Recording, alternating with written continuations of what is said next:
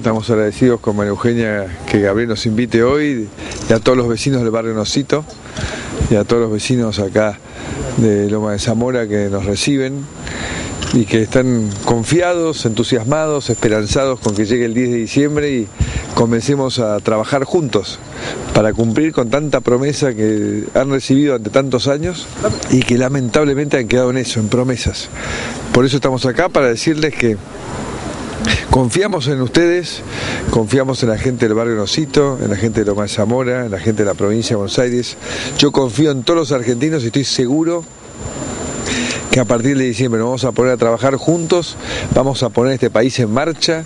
y vamos a generar una Argentina que cree oportunidades para todos. Bueno, hay un proyecto muy lindo, ir haciéndolo crecer en el tiempo, con nuevas instalaciones, cubiertas, hasta un anfiteatro y creo que es un proyecto muy posible,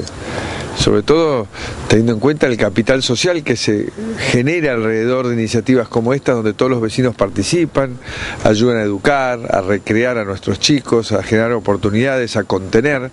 porque hoy con Gabriel lo hablamos siempre, la calle está muy mal, la calle está muy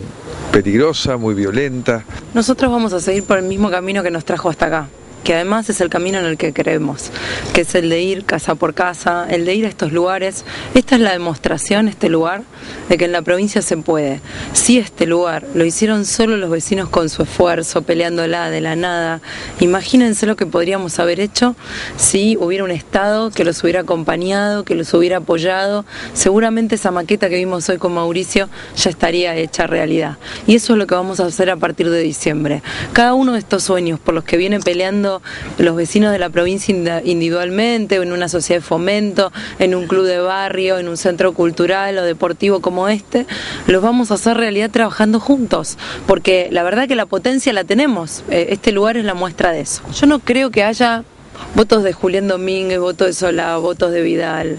Lo maravilloso de esta elección es que el voto es de la gente. El poder lo tienen los vecinos y nos lo han demostrado una y otra vez en este año electoral. Y lo que van a elegir es muy claro.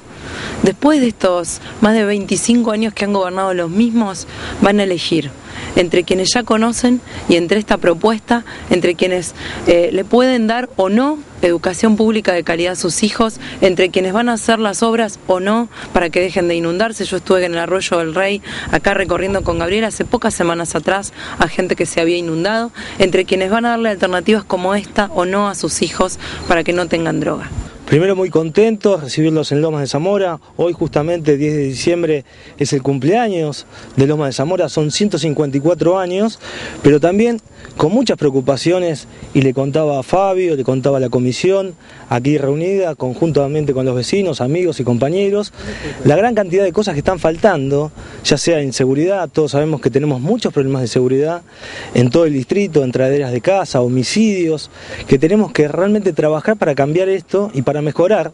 la calidad de vida, esa palabra que nos quedó lamentablemente muy grande en estos años y que queremos, junto al cambio de María Eugenia en la gobernación, a Mauricio Macri en la presidencia de la Nación, queremos tener un cambio para mejor, para que las obras se terminen, que la estación de bombeos de los, 150 millones de pesos que están faltando se terminen, como también la contaminación que hablábamos con ellos y junto a la comisión. Contaminación que por ahí no se ve, es invisible, pero también mata cuando no tenemos cloacas, cuando no tenemos eh, buenos servicios. Por eso